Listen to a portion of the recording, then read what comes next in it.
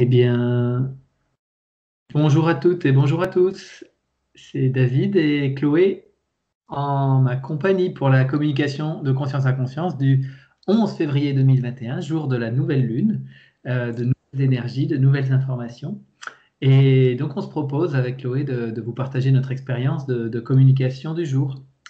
Et Chloé, je te laisse commencer si tu veux. Oui, bonjour à tous. Alors, pour moi, ça a commencé, euh, j'ai eu besoin de prendre vraiment un temps au contact de, de moi, de mon corps, de ce que je ressens. Je me suis levée, euh, enfin, levée, oui, réveillée avec quelques angoisses ce matin. Et, euh, et toute la matinée, j'ai passé la matinée avec ces angoisses assez présentes qui sont liées en fait à. Je, sais qu'aujourd'hui est, examiné à l'Assemblée euh, nationale le, texte de loi sur. Euh, alors, c'est plus l'interdiction de l'école à la maison, mais euh, en tout cas, une très grosse restriction sur l'école à la maison. Et c'est un sujet qui me touche particulièrement puisque je fais l'école à la maison avec Ellie. Euh, et, voilà, et je sens que ça, ça, crée, ça génère en moi euh, de grosses angoisses d'imaginer euh, devoir remettre Ellie à l'école. et en fait, en me penchant un petit peu dessus, je, puis j'ai lu quelques articles, bon, et je me suis rendu compte que ce qui me touche réellement, je crois, au-delà de, l'histoire de l'école, enfin de ne plus pouvoir faire l'école à la maison à Ellie, c'est de plus pouvoir euh, lui euh, transmettre ma vision du monde et particulièrement ma vision spirituelle du monde. Et en lisant plusieurs articles, ce matin, j'ai pas arrêté de tomber sur des trucs comme ça où euh, je comprends vraiment que comment dire là, la, spiritualité veut être totalement éradiquée de notre société. Et, euh, et, ça, là, ça, ça crée, ça génère en moi beaucoup d'angoisse.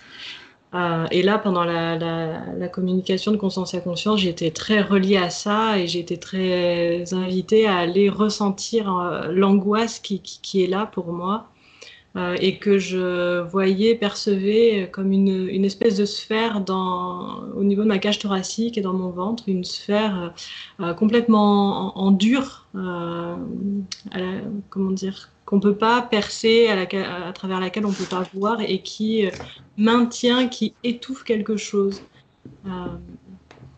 Et, donc dans tout ce cheminement-là, je suis au contact de cette sphère-là très dure, très opaque, et, et, euh, je me sens reliée aussi à mon enfance, à des moments. Euh, j'ai vécu beaucoup d'angoisse aussi dans mon enfance, et, puis à mon dans mon adolescence aussi. Donc je suis reliée à toutes ces angoisses que j'ai pu connaître, et je me rends compte que bah, que, en fait cette angoisse a toujours été euh, liée finalement à comment à l'impression, enfin l'étouffement de ma dimension spirituelle. Il y avait quelque chose euh, comme ça. Et, et mon angoisse s'en est allée le jour où j'ai réellement euh, euh, reconnecté avec, avec mon je suis.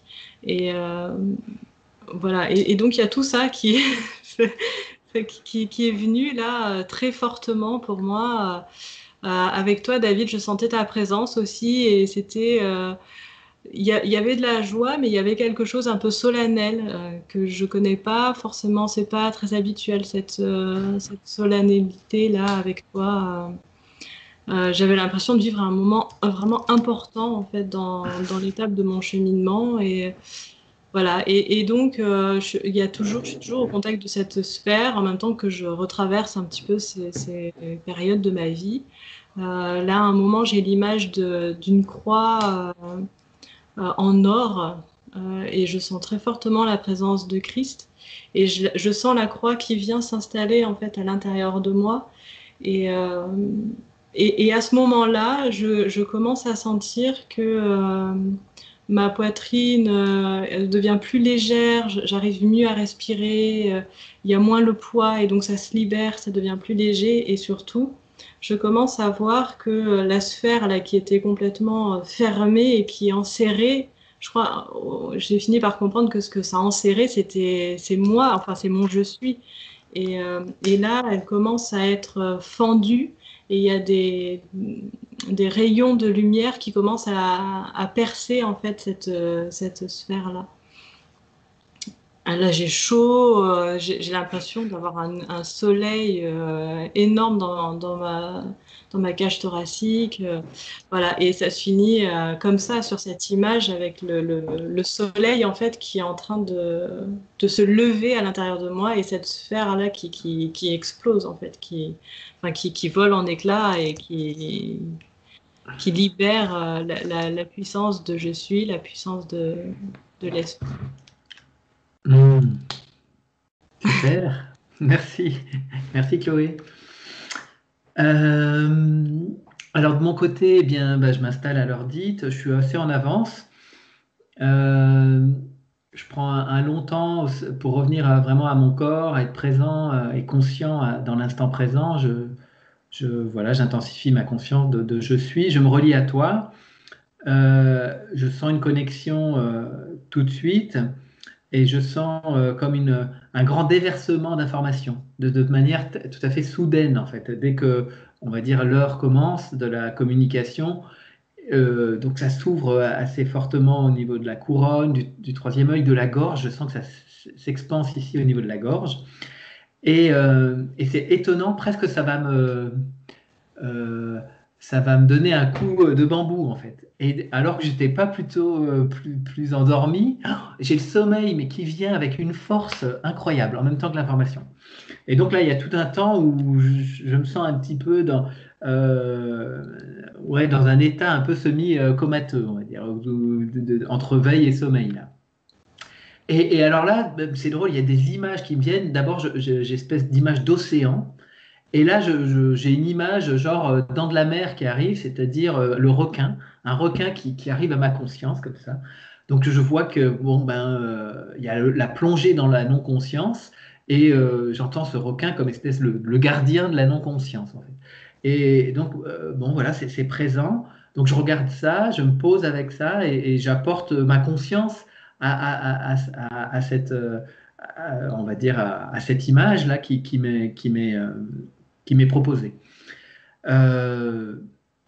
Ok, donc ça, ça se pose. Euh, et puis, euh, donc je sens que petit à petit, je me sens plus en, lien avec mon corps vibratoire et avec ton corps vibratoire. Et je sens qu'on forme une espèce de, on pourrait dire que de l'hémiscate, de, de, de, 8, et qui tourne. Donc, euh, bon, je ne sais pas comment on s'arrange, mais en tout cas, on, on, on, tourne, on forme un 8. Et ce 8, il se déplace un petit peu sur la surface de la Terre, en fait il fait le tour de la Terre et euh, au fur et à mesure qu'il tourne, eh bien, euh, il prend de la hauteur en même temps, il s'élève. Euh, je sens que ce 8, à la donc il, tourne et il est, comme réceptacle de supramental qui, qui, le, ramène sur la Terre. À un moment, je sens qu'on est amené en Chine et l'image de la Chine me vient du nouvel an chinois et je vois une espèce de, grande euphorie. De, de, et, le mot qui me vient, c'est le chaos en fait. Il y c'est le, en tout cas le, chaos avant, euh, euh, avant le nouveau. Donc le chaos avant le nouveau. Donc il y a une, espèce de grande désorganisation euh, qui prépare une nouvelle ordonnancement des, choses, on pourrait dire. Et donc on continue comme ça à, tourner autour de la Terre en, formant des huit.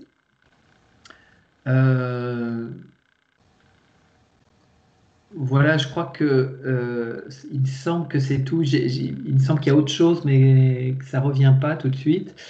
En tout cas, à la fin, euh, toi, tu parles de soleil et je sens qu'il y a une grande lumière qui, s'invite là euh, dans ma conscience. Ça s'éclaircit et, j'ouvre un peu les yeux et timidement, parce que c'est pas vraiment le cas, là, il pleut de nouveau, mais il y a, vraiment une éclaircie qui, se présente aussi. Donc, je sens que voilà, il y a quelque chose qui, s'ouvre et qui.